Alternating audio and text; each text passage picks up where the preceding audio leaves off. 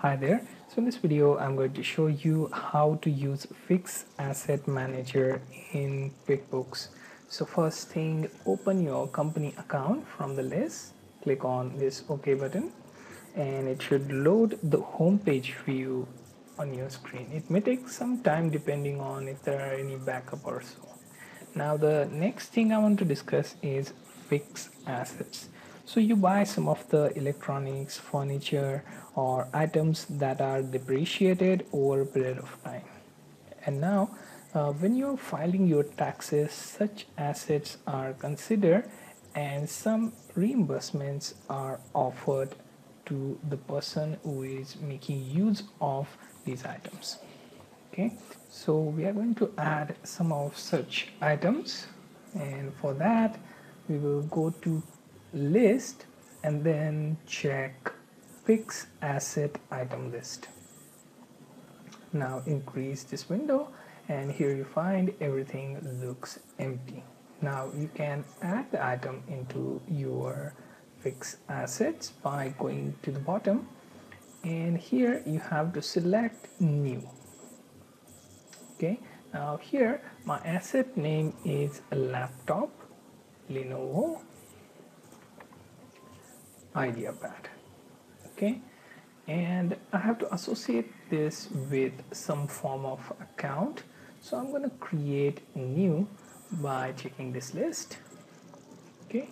And here I'm going to add electronics and computers okay?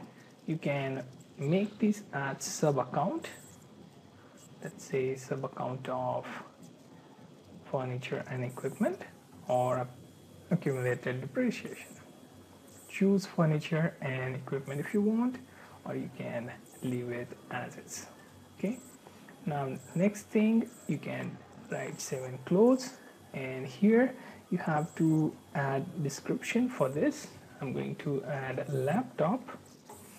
Next thing is you can add other description like PO number, serial number, warranty expiration etc okay now the cost can be mentioned here as well. So I'm gonna add cost here okay?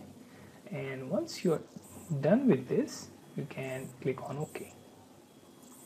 Okay so you need to have a purchase date. Okay so I'm gonna add that into let's say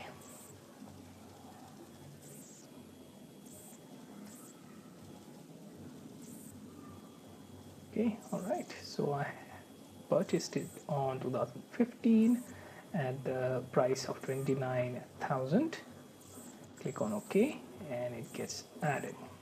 Similarly you can edit this or you can simply add another item into this list. Okay so this is considered for your depreciation reimbursement when you are filing your tax depending on your local state laws the refunds for such assets and also some of the returns will be affected.